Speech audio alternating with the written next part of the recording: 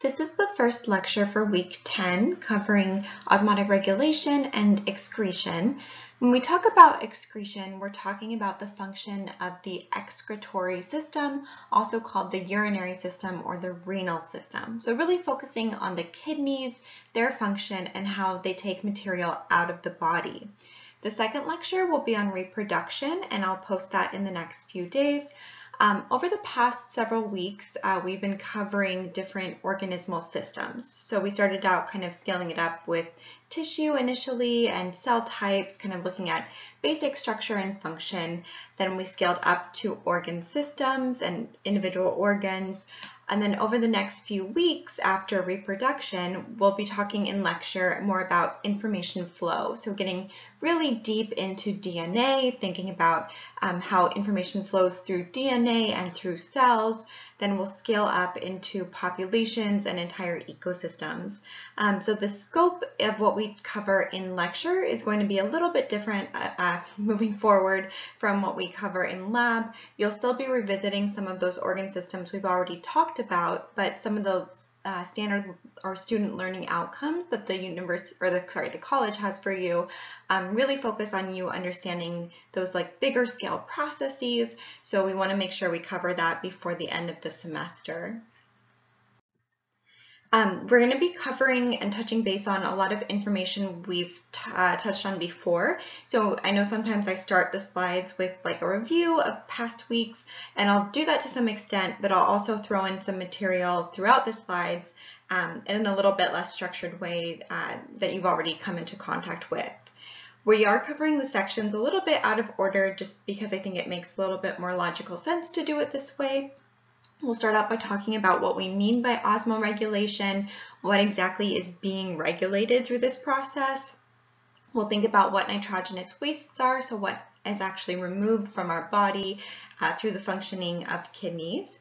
We'll think about how other um, organisms, other animals do the process of excretion, then scale up to our excretory system, um, and then think about how that excretory system is hormonally regulated.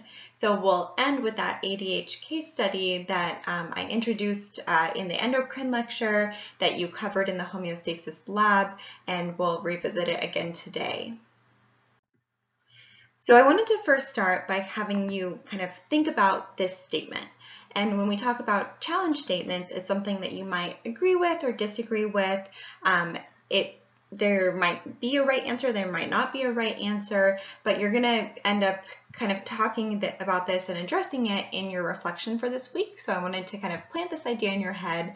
Um, do you agree or disagree that urine is made from blood? So that might sound crazy. It might make logical sense to you. It could be somewhere in between. Um, but I want you to be thinking today throughout this lecture about that statement, um, what we might mean from it, and the distinctions between urine and blood. So if we think about what urine actually is, um, it ranges a lot in volume, anywhere from 750 to 2,000 mils per day, so up to 2 liters per day. There's a really wide range of pH. Um, we'll talk about what we mean by osmolarity, kind of like solute concentration, which also really varies, uh, often depending on the um, concentration or the um, volume of the of the fluid. Um, there is something called urobilinogen, white blood cells, uh, to a very small extent, protein uh, is usually not present. Bilirubin, nitrate, nitrites should not be there. Nitrates are normal. Um, blood should not be, whole blood, like red blood cells, should, should not be in your urine. Glucose should not be present, but there are lots of things like ions, amino acids, vitamins, metabolic waste products that are normal components of blood. So urine shares a lot of stuff with blood, but there's also some key differences. Uh, oftentimes when we think about red blood cells, that's, that's what we think about when we think about blood, um, and things like proteins. So we'll kind of unpack this and think about the things that are missing, as well as the stuff that's present, think about the functional structures of the kidneys when we get to those, and how that all relates together.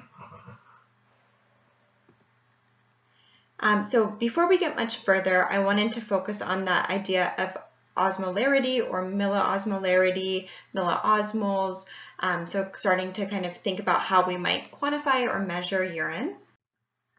So you might remember from chemistry uh, that moles are a special chemical unit based on uh, a molecule's uh, molecular mass and um, something called Avogadro's number, but it, you don't need to stress about that. It just means a special chemical unit. So uh, there's a molarity is a measurement where we take a the number of moles per unit volume measured in liters.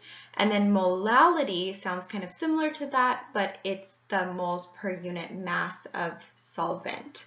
Um, so the unit that we use there is kilograms. Uh, for water, it has an equal relationship of liters and kilograms, so those are kind of interchangeable, um, but for other substances, for other solvents, it's different. So on the previous slide, when you saw solute concentration measured as milliosmoles per kilogram, um, it's kind of pointing to this idea of molality, but we'll unpack what that milliosmoles means. So oftentimes when we're thinking about solutes in our body fluids, they have a charge. Um, remember last week we talked quite a lot about the nervous system um, and we saw all those charged uh, ions, so things like sodium and uh, chloride and potassium and calcium, all of those are very important and they all have charges. Um, so when we look at an ion, we have to not only take its presence into account, we also have to take the charge of that individual ion into account when we're studying that body fluid. So we might use a measurement called milliequivalents per liter, which means that we take the number of millimoles because these are kind of tiny amounts of stuff. It's not like a thick solution. Um, so we take the milli millimoles of, of the, of, the, ion that we're talking about, so for example sodium, and we multiply it by the number of electrical charges on an individual ion. So sodium is Na+, plus. it just has one positive, positive charge, so we just multiply it by 1. Calcium, on the other hand, is still just one ion, but it has a double positive charge, it's 2+. plus. So here we would multiply sodium by the millimoles of sodium by one, but we would multiply the millimoles of calcium by two. So we're just thinking about those relative charges when we're figuring out kind of the um, solute concentration within body fluids, whether it's interstitial fluid or plasma or anything like that. We also can use milliosmoles, uh, which are the milli equivalents of solute per kilogram of solvent. So again, switching kind of between millimolar and millimolal, um, and the body fluids uh, that I mentioned, stuff like interstitial fluid and blood plasma, usually range from about 280 to 300 milliosmoles per kilogram. So I wanted to introduce you to that because um, when you read textbooks, you're going to see measurements like that. You might, uh, in a clinical setting, collect measurements like that. Um, so I want you to be prepared for that and understand what it's talking about and where they get those numbers from. But for lecture, I will never have you memorize those values or do any calculations with them. I just want to teach you the language so that you're familiar with it. So when we are studying urine, we're doing something called urinalysis, and this is a very important diagnostic tool. Um, if you've ever had different types of infections or gone in for a pregnancy test or any sort of thing, um, urinalysis is very common. And uh, the first way that we can kind of start to study urine is the relative volume um, in one kind of voiding session. So how much is the patient producing? Are they producing what we would expect back like a normal volume? Are they producing too much urine, not enough urine? Um, and we can also look at the color. So you kind of maybe have an innate knowledge that the lighter the urine, the more hydrated the individual is. Uh, darker urine is often signs of dehydration, but there are a lot of medications and a lot of other factors that affect the color of your urine. Um, so urinalysis is kind of tricky because there's kind of a base range, but it's influenced a lot by your diet, um, your metabolism, any medication you're taking, different environmental factors, but we still can collect some evidence and figure out diagnostically what medical conditions might exist. So if we look at this quick case study, there's a lot of numbers here, but I'm going to draw your attention to a few things. The first column is what's being tested. The middle column is this patient's results. And the right column is the reference range, so what we would expect in a maybe normal healthy adult. Um, so here it says clarity, turbid for the patient, which means that it's cloudy, um, which uh, is usually not what you would expect. Um, it also is positive for two things called leukocyte esterase and nitrite. Remember that nitrite is usually not present in urine. We saw that a couple slides ago. Nitrate is present in urine. So nitrate is uh, one nitrogen and three oxygens. Nitrite is one nitrogen and two oxygens. And uh, that shift from nitrate to nitrite is called reduction, and it's typical of some bacteria, so the function of some bacteria.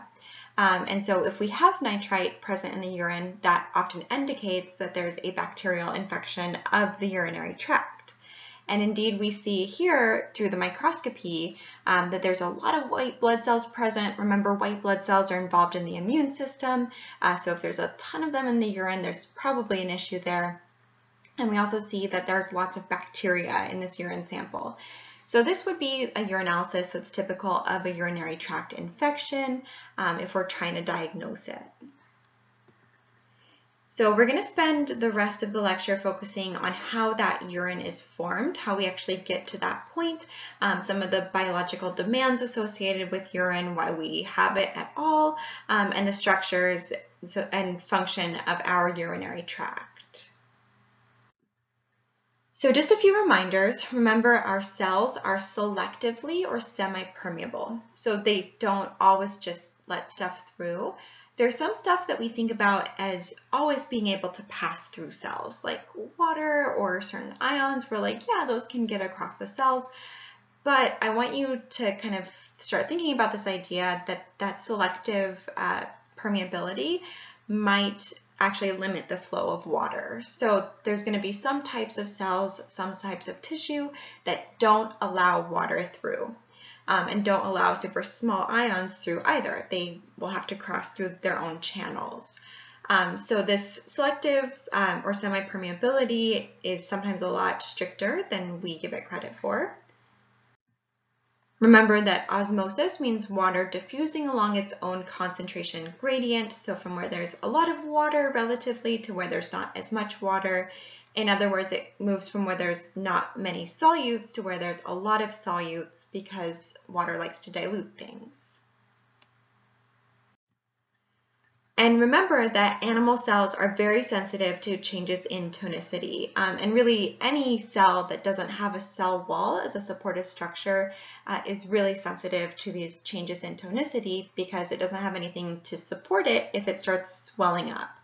Um, so these are examples of red blood cells being put into different solutions. If a red blood cell is placed into a hypertonic solution, water is going to leave the red blood cell in order to dilute that hypertonic solution.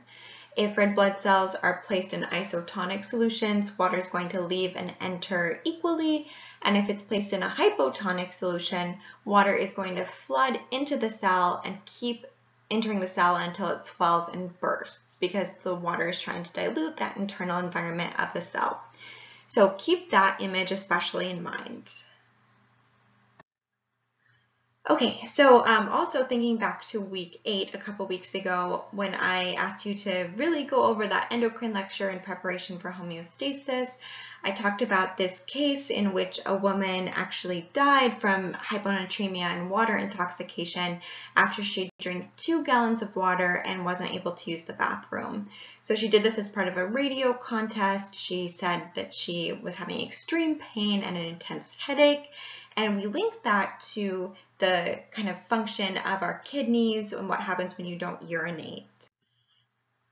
So remember, water is flowing in, the balloon expands, and um, that leads to uh, fluid being way too dilute. So water flows into the body, body cells from that interstitial fluid, um, which is pictured in the top right, kind of in a diagram similar to the red blood cells. Um, and so in addition to the problem of cells bursting. That's why we don't inject patients with drips uh, that are just pure water. We put saline drips that have a tonicity um, that makes sense for our cells. Uh, if we have swelling and we don't have bursting because it's constrained within a brain case, our, our, um, our skull, uh, then our brain is pressing against that skull and it can lead to really serious symptoms, including death, as we saw in this case. So urine is really, really important because it helps our bodies maintain homeostasis through something called osmoregulation.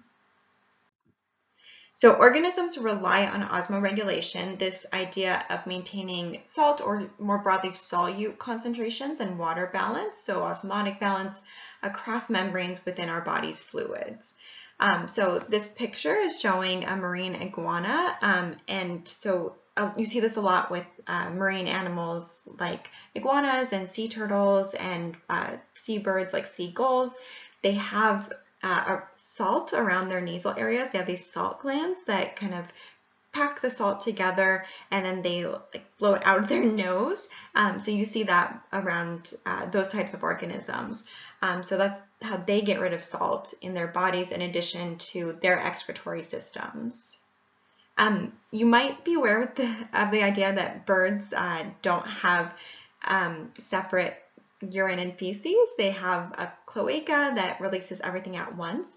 They do have separate digestive and excretory systems, uh, but their ureters, which are structures that we'll talk about in a little bit, uh, connect directly to their digestive system. So it's like they have the separate systems, but then they reconnect at the intestines and everything comes out together. So again, more bird facts. Okay, so when we're thinking about some of those solutes that need to be kept in balance, um, we distinguish between electrolytes and non-electrolytes. Electrolytes are able to be dissolved in water into ions. So some common ones include sodium, magnesium, phosphate or phosphorus, um, potassium, calcium, as well as chloride. So when we talk about those ions, we're talking about electrolytes. Non-electrolytes don't dissolve into ions, so these include common blood proteins like albumin or globulins um, or hemoglobin. Um, so this one that's pictured here is human serum albumin. Um, albumin is also commonly used in a lot of clinical settings. Um, so for a lot of molecular tests and diagnostics, albumin either from humans or from cows, bovine serum albumin are really important. But when something is in our body fluid and it doesn't dissolve into ions, it's a non-electrolyte. So we're thinking about kind of the balances of those things, of the electrolytes and non-electrolytes. And another thing that we really have to consider are structural units that contain nitrogen. So remember amino acids are building blocks for protein. They have a central carbon, a hydrogen, a carboxyl carboxylic acid group, an amino group, and an R group. It's really unique. Um, that amino group is super important and it has a nitrogen. Nucleotides, which are the building blocks of nucleic acids like DNA and RNA, also have a big nitrogenous base that has a double ring structure that has nitrogen. It has an NH2 sticking out the side, so they have a lot of nitrogen. So these key macromolecules have tons of nitrogen in them, and they get filtered into different metabolic processes. Remember, catabolism breaks apart molecules. Um, so we have all these catabolic metabolic processes that are breaking down amino acids and nucleotides and using them for generating energy and building cell structures. And we get a lot of waste products that contain nitrogen. So when we're talking about nitrogenous waste, we're talking about those waste products from metabolism that include nitrogen, but are also usually quite toxic. So we don't want them sitting around in our body. We don't want them building up. We want to get rid of them. And the first and most toxic of these is ammonia, which is usually converted to urea through something called the urea cycle, which we'll talk about in just a moment. There's also uric acid, which we use, um, but we don't want to rely on too much. It's not as it's not by any means as toxic as ammonia. It's not as toxic as urea can be, um, but it can be dangerous if it gets too high in concentration, which we'll talk about in just a moment. So again, ammonia is extremely toxic. We want to convert it very quickly to urea, and that's done in the liver using the uric cycle. Um, so when we have protein catabolism or protein breakdown uh, that produces ammonia, which is then um, in the mitochondria and other structures of the liver um, converted into urea through this series of steps. You do not need to memorize this. Um, I just wanted to get you familiar with this idea of cycling to get rid of these waste products.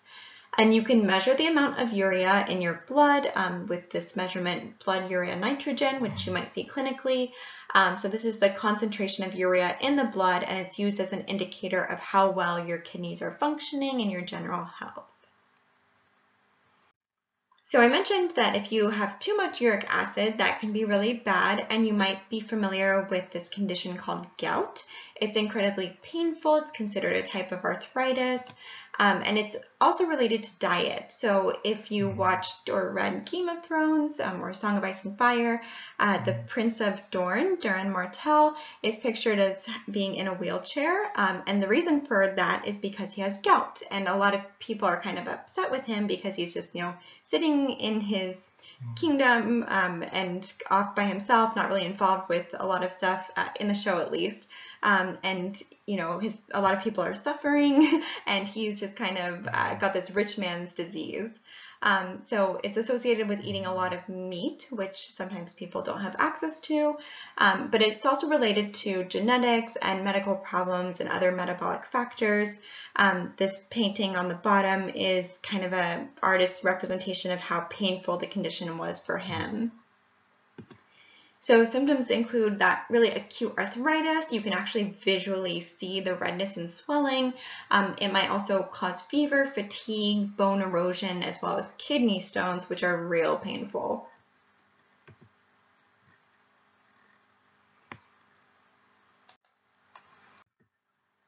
So I wanted to start us by, uh, when we're thinking about excretion systems, I wanted to start us thinking about kind of smaller organisms and scale up. Um, so seeing how this plays out on a single cell level and then scaling up accordingly. So you might remember a few weeks ago when we talked about the immune system and what causes disease, we talked about, uh, I don't know if we talked about paramecium specifically, but we talked about protists, which are single-celled kind of animal-like creatures. Um, some of them have cilia, which is what's pictured here, those little kind of hair-like structures all around them. Um, and a lot, a lot of them are aquatic. Um, and so paramecium is an example of this, and it lives in fresh water. So if we're looking at it, we can kind of see all those solutes inside of the single cell and a lot less solutes outside of its environment. So uh, would we consider the paramecium hypotonic or hypertonic relative to the environment? So hopefully you thought about that. I'm not just pausing for no reason. Um, but remember, hyper means a lot of, um, and so uh, we'll get back to that in just a moment. Um, think about what, uh, which one you think it is, and then do you think water surrounding the paramecium will enter or exit the cell? Um, so hopefully you understand that the paramecium is hypertonic relative to its environment. It has a lot more solutes inside than the environment has outside. So the paramecium is hypertonic. The water is hypotonic. So water is going to rush into the cell. But fortunately, um, let me see if I can kind of highlight these. We have these guys right here, which are called contractile vacuoles. So I'll show you a, a moving image on the next slide of those. Um, so paramecium has a ton of stuff inside its cells. You can see that quite clearly on the left image, um, and it's just packed with solutes relative to the external environment.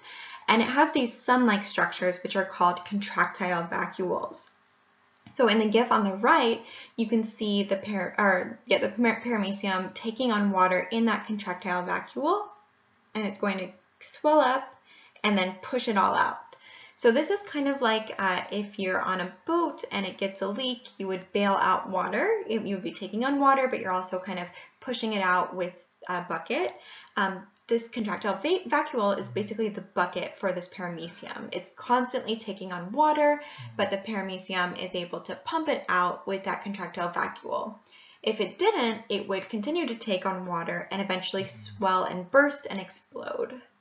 So this is a very simple example of a single organelle, a single vacuole that's involved in excretion. Um, I'm not sure if this will play, uh, so I'm going to introduce it before I click. Um, if it doesn't play in this lecture, I strongly encourage you to look at this video in the PowerPoint that you can download, not the PDF, um, because it's so cool. Paramecium are really cute, and these ones are just like swimming around with their cilia, eating yeast uh, that have been stained with a dye called Congo red.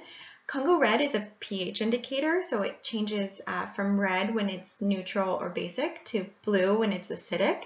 So you can actually see um, the paramecium have these little food vacuoles that are basically like our stomach that have acid in them, and they're able to break down the yeast inside of them, but you can see it change blue as they do that. So uh, here's hoping this works. Nope, it didn't. So um, you should definitely, the recording system for PowerPoint is really helpful, but it doesn't always uh, work super nicely with videos. So you should definitely look at that on the PowerPoint because paramecium are so cute. Okay, so then um, in other organisms like flatworms, we have different excretory systems, things like flame cells, um, those are pictured in the bottom left, and those work with cilia and with a tubal system to push waste out of the flatworm and draw water in. Um, in uh, different insects such as bees as well as crickets and grasshoppers, you have what are called Malpighian tubules. Um, those help really get rid of a lot of metabolic waste without wasting any water. So they produce a really thick paste as the urine. So um, they hang on to as much water as possible.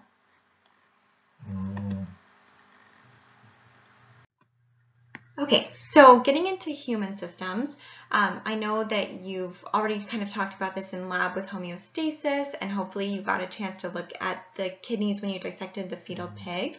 Um, but when we're thinking about what makes up the urinary system, so the excretory system in humans, there are two kidneys in most people.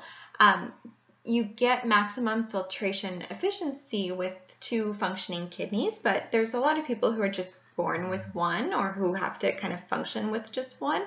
Um, so blood is filtered and urine is produced at those two kidneys, which are along your back. That's why when, uh, if you're watching something like MMA and you get a kidney shot, it's on the back. Um, and then they are connected to two tubes called ureters. So each kidney is connected to a ureter. Those are just tubes that take the urine uh, into the bladder. And then the bladder stores the urine until it's ready to be released from the body through the urethra. So the kidneys are going to be very important for fulfilling that functional filtration role. When we talk about nephrons, which you've already kind of talked about and which we discussed when we talked about um, the endocrine system, um, we'll talk about, we'll focus on the kidneys specifically. So when we're talking about the urinary bladder, I think it's worth mentioning that it's very flexible. It ranges in size from about zero mils to 600 mils, so over half a liter um, in, in adults. Obviously, it's quite different if you have a very tiny human. Um, it's mostly made of muscle, but it also has this interesting structure called transitional epithelium, which looks very columnar when the kidney, or sorry, when the uh, bladder is empty, but as the bladder fills with urine, it's going to stretch out and appear squamous. So this epithelium goes from being very tall and narrow to being very short and flat and spread out to accommodate that kind of stretching of the urinary bladder. Um, the muscle that makes up the, the bladder is also really strong initially, but weakens over time, which kind of leads to incontinence in a lot of older adults. I also wanted to talk briefly about the urethra, um, specifically because we're going to be talking about the reproductive system next. The urethra is basically just a tube that transports urine from the bladder to the outside of the body, um, but it looks quite different in people with vulva versus people with penises. Um, so if you have vulva, uh, the bladder um, has a much shorter urethra attached to it and it's very separate from the reproductive system. If you have a penis, it all kind of uh, collects together and so semen and urine exit through the same structure, the urethra. Um, and so the difference in relative structure is also why urinary tract infections are a lot more common in people with vulva um, and why it's very important. Uh, you should know this as just as people and also as people who are going to be working with a lot of patients um, that it's super important for people to pee after sex. And especially if you have um, if you have a vagina uh, you have a much shorter urethra. And so it's really important to clear it out of bacteria, um, that's a major portal of entry. And a lot of people don't know that. A lot of people are misinformed about stuff like that. So as people who are going to be doing a lot of sexual education for your patients and communicating about different things like that, you should know that and you should pass that information on to your patients. Another thing that you might encounter in your career in healthcare is kidney transplants. And I actually didn't know this until a few years ago. Um, when you have a kidney transplant, it's not actually transplanted. Uh, the diseased kidneys or the non-functional kidneys usually stay there. It's just they add another kidney onto it. So we'll talk about kind of all the blood vessels that we're referencing here, um, but the kidneys in your body stay in place and then another transplanted kidney is added and hooked up to particular blood vessels to filter blood.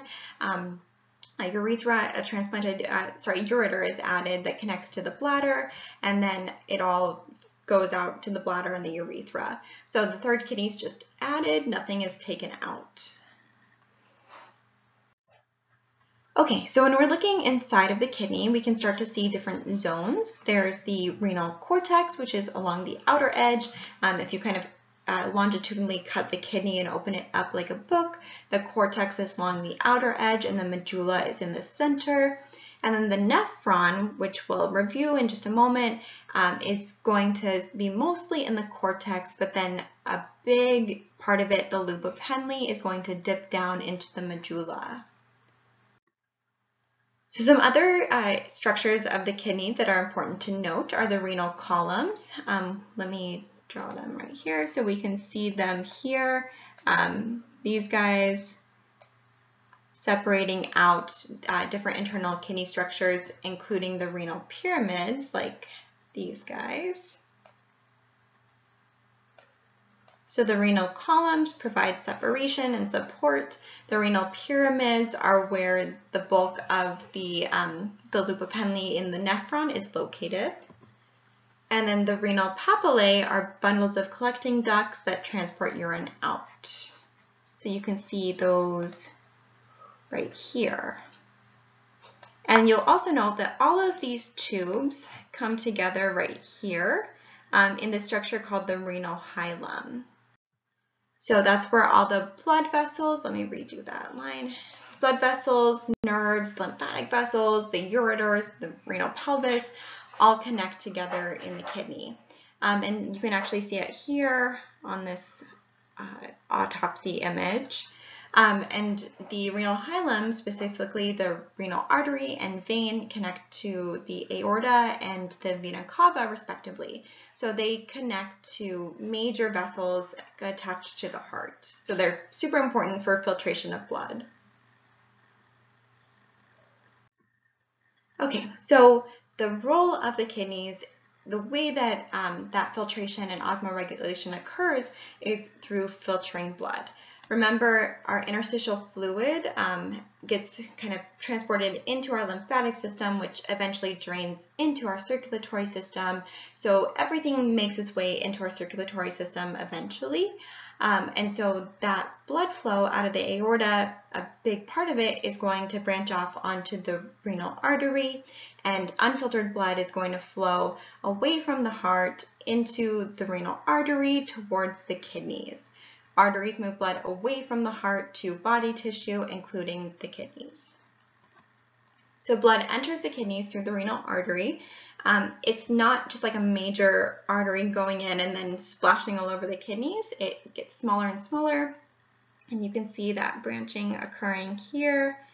So we have um, efferent arterioles. We have um, the smaller structures, those arterioles coming in.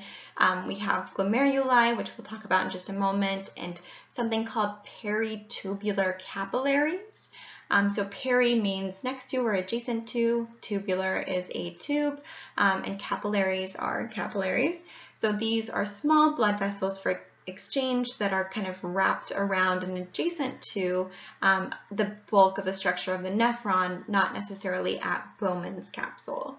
So I'm just putting these terms out there because you've already seen them in the endocrine lecture and in the homeostasis lab, so they should be somewhat familiar to you, even though we haven't talked about them in this particular lecture. After filtration occurs, um, all the blood that's left in vessels, uh, in the capillaries, is going to exit the kidneys through the renal vein. And then everything that is actually urine, so formed urine, is going to exit the kidneys through the ureters. And so all of this is really kind of clustering at that renal hilum right there, um, but it's all, you know, different vessels and different flows and pathways. So when um, we have those peritubular capillaries, we have arterioles, we have all those different things near the nephron, um, there's a ton of surface area. And the nephrons are really the functional unit of the kidney. They're where that action is taking place. And the kidney is just a ton of nephrons packed together for the most part um, in terms of its actual function. And something that's kind of cool is humans have anywhere from 200,000 to 2.5 million or more nephrons. So we just have tons of them, about 1 million on average. And that number is very flexible. So depending on your demand, you might change the number of nephrons. For example, um, immediately after someone gets pregnant, uh, they start increasing the number of nephrons that are packed into their kidneys. So you um, have more blood flow, you have more individual nephrons to accommodate that. Um, and so you have a lot higher urine production right away before you even really have a fully formed fetus um, pressing against your bladder.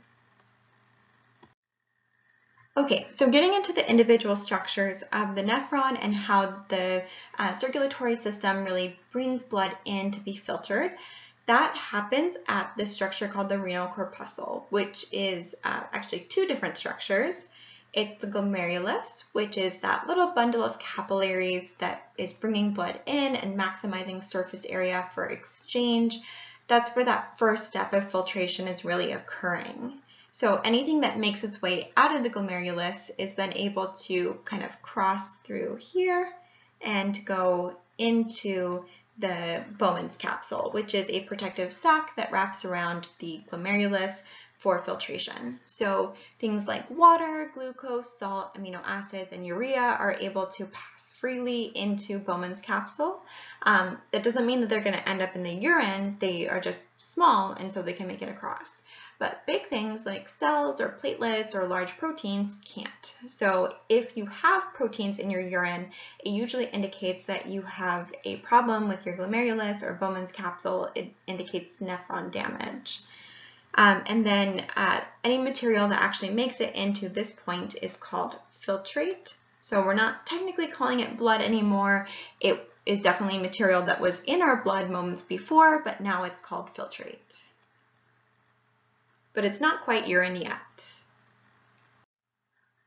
So I wanted, before uh, I show you some of the names for these structures, I wanted to kind of walk you through this process of filtration and start visualizing it.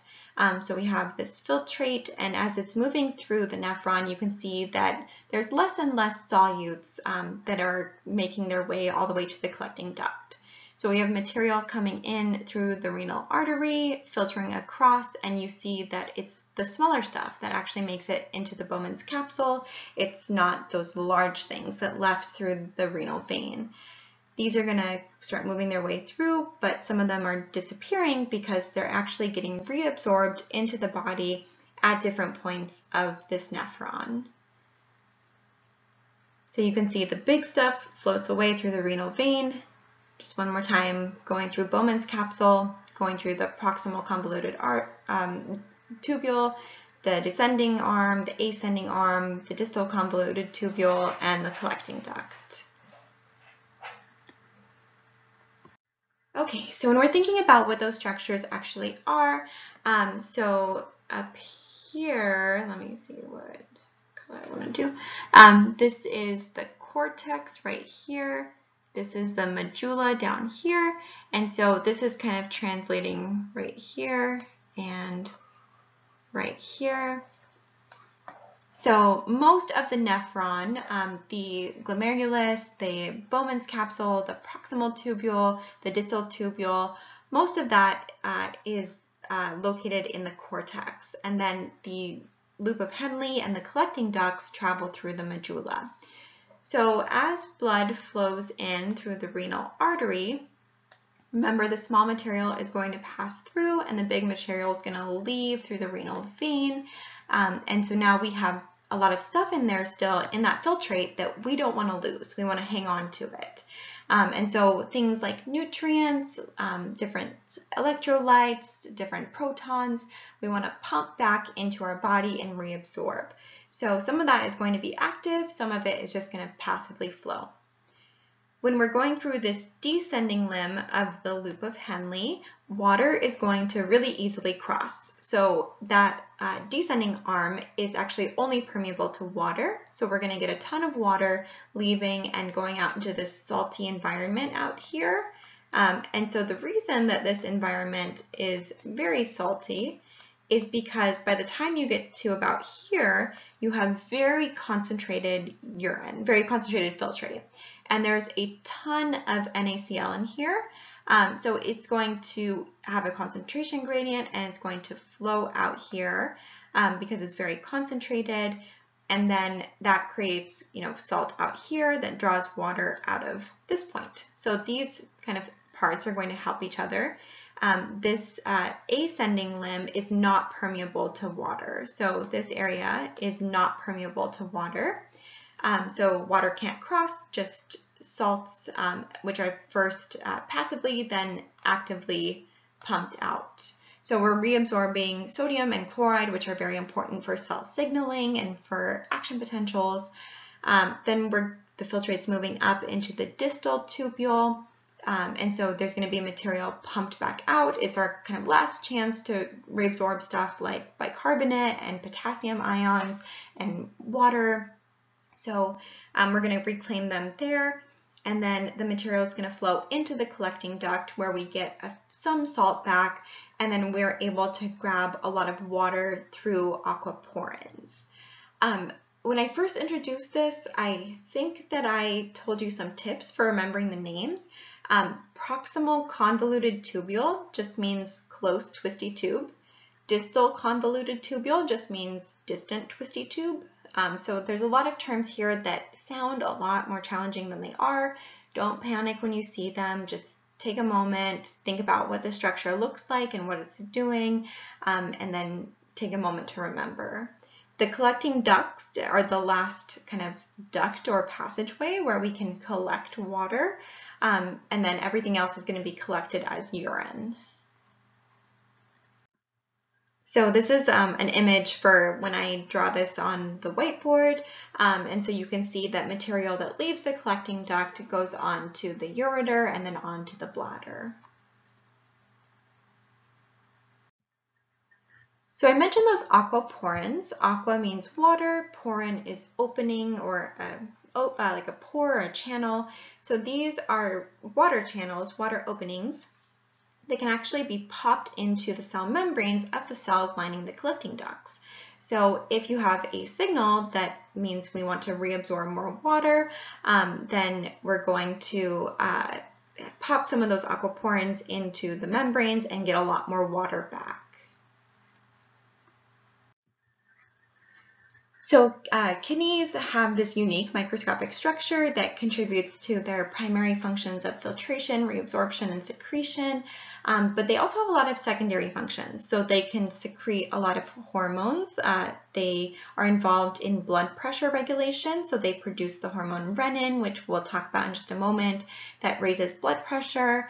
Um, they also produce erythropoietin or EPO, which you might have heard of uh, involved in like doping scandals because it increases red blood cell production.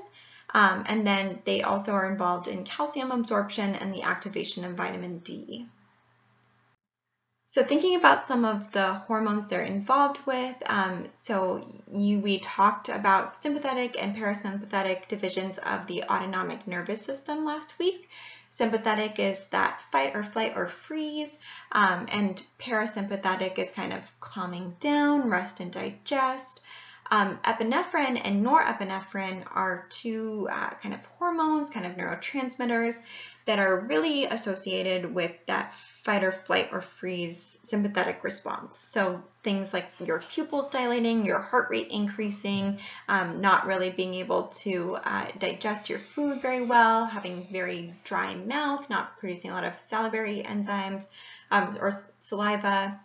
Um, and so these also constrict blood flow to the nephron, which means that we're not filtering blood as much and producing as much urine, and they temporarily suppress kidney function as well as signaling the RAS system, which we'll talk about next. Um, so there's a lot of hormonal regulation of the kidneys in addition to the kidneys themselves producing hormones. So that RAS system, the renin-angiotensin-aldosterone system, is something um, I pretty sure I've introduced to you guys before. Uh, it increases blood volume and pressure um, by changing how we reabsorb material in the kidneys. Um, so angiotensin is produced in the liver, renin from the kidneys, which I just mentioned, converts it. Um, another uh, enzyme called ACE converts it further, and then that changes flow of blood um, and ultimately increases blood pressure and blood volume. So if we have something like renin or ACE or angiotensin functioning the way it's supposed to, we have higher blood pressure and higher blood volume, maybe lower urine volume, um, so we have more stuff kind of staying in our body. Just to kind of visualize where all that is coming from, components of this, like ADH, are being produced in the brain. Um, there's some other stuff coming from the kidneys and the liver. It acts on the kidneys themselves um, and the, uh, the collecting ducts. So there's kind of a complex physiological relationship here. So if you've ever heard of ACE inhibitors before, uh, you definitely will at some point in your career. These are really common blood pressure medications, and these act on that renin-angiotensin-aldosterone system. Um, so they stop that ACE enzyme, which converts angiotensin 1 to angiotensin 2 and stops that pathway. And so blood volume and blood pressure are then not increased. And so ACE inhibitors stop this mechanism that increases blood volume and pressure, and in doing so, they keep a stable blood volume and blood pressure.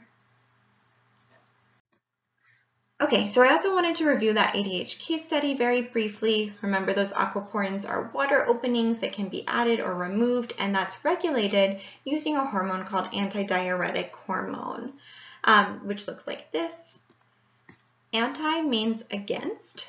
Diuretic is something that makes you urinate, so it increases the volume of your urine and makes you have to pee more. And hormone is a chemical signaling molecule.